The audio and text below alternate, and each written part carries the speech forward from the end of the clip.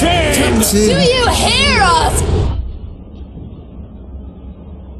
A generation ago, we fled the crumbling British Empire as the world froze around us.